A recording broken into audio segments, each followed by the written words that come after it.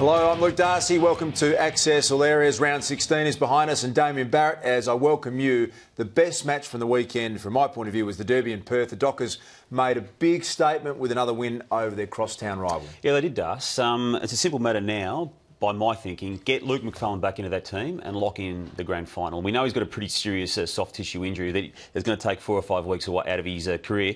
Get him back, and they're in. I know you Simple told me to tell everyone, Damo, that you backed uh, Fremantle at the start of the year to make the grand final. Well done, Damo. You got one right. Ross Lyon, for me, is an absolute genius. You would love him to coach your team. He just wins, and the players understand his system really well. They buy into it. Uh, they are incredibly hard to play against. As you said, how's the upside?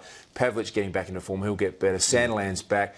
Uh, if you get uh, McPharlin as well, sensational. Michael Barlow, incredible as well. I love the stat that's around at the moment. Uh, 42 of his 60 games that he's played, over 25 possessions. Only Greg Williams has done better Really? than that for the first 60 games. So he's just been incredible. And, and Mundy, I mean, we've known it for many years already, but he, he's A grade, isn't he? A plus. Yep, uh, Nat Fyfe is A grade as well. Uh, was pretty quiet uh, on the weekend yesterday, but uh, they've got enough talent.